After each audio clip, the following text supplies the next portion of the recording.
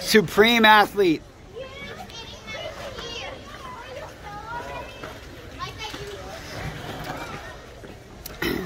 You have to go clockwise? Yeah, they'll they switch it halfway through, so they're probably counterclockwise before.